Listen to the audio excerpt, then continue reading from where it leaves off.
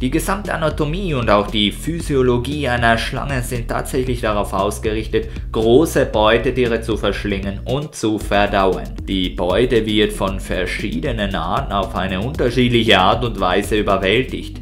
Die einen benutzen Gift, die anderen erdrücken ihre Beute und wieder andere verschlingen sie ganz einfach Leben. Der Schlangenschädel ist extrem beweglich und besteht aus vielen kleinen Knochen, die über Knorpel, Sehnen und Bänder miteinander verbunden sind. Das Gehirn befindet sich gut geschützt in einer Knochenkapsel. Der gesamte Kieferapparat ist stark beweglich. Eine Schlange kann ihre einzelnen Kieferknochen unabhängig voneinander bewegen. Die beiden Unterkiefer sind nicht miteinander verwachsen, wie es bei anderen Tieren der Fall ist. Dadurch können sich auch die Unterkiefer unabhängig voneinander bewegen. Die Unterkiefer sind elastisch miteinander verbunden, die Verbindung zum Oberkiefer ist ebenfalls sehr locker, wodurch eine Schlange ihr Maul extrem weit aufmachen kann. Das Gebiss einer Schlange dient abgesehen von den Giftzähnen bei manchen Arten einzig und allein dazu, die Beute festzuhalten und sie Stück für Stück in die Speiseröhre zu befördern. Die Zähne der Schlangen sind wie Widerhaken nach hinten gerichtet.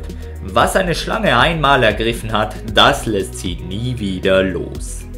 Die Beute wird im Ganzen verschlungen. Die Verdauung beginnt schon in der Speiseröhre. Im Magen der Schlange herrscht ein pH-Wert von 1. Die starken Enzyme und die Säure erledigen dann den Rest.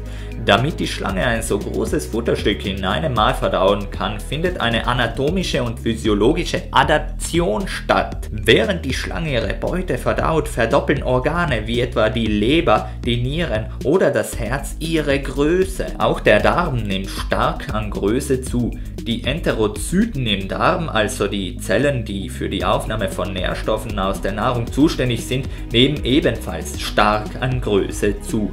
Die Schleimhäute werden dicker und produzieren mehr Schleim- und Verdauungsenzyme. Auch die Stoffwechselrate der Schlange erhöht sich im Laufe der Verdauung. Nachdem die Verdauung vollendet ist, scheidet die Schlange die Reste aus.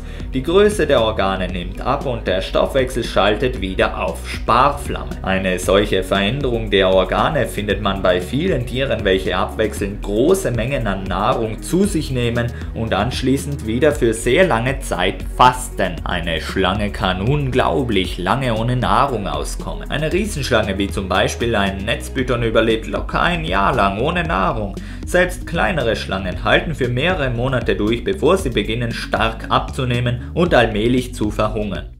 Wenn euch dieses Video gefallen hat, schaut euch gerne auch noch dieses Video an. Das könnte euch auch interessieren. Danke fürs Zuschauen. Tschüss.